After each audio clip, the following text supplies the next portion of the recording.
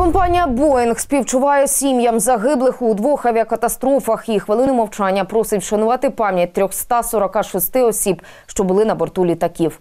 Такими словами розпочав генеральний директор Боїнг Ко Деніс Муйленбург зустріч з акціонерами.